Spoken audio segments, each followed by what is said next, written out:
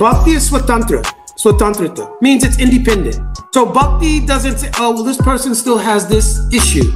So I'm not going to appear there till that issue is purified. That's a huge misconception. Huge? people, I even have, I had that, you know? Yeah, no. If you can't 10th Canto Bhagavatam is clear. Bhakti param pratilapya kamam ridrogam. In this verse, Vikridam Vrajavadubir, in that verse, it's mentioned. Bhakti param pratilapya kamam ridrog. So bhakti hmm. comes of its own accord by the sincerity and your saranagati. Hmm. Now, of course, saranagati means you should give up things that are not favorable and accept things favorable.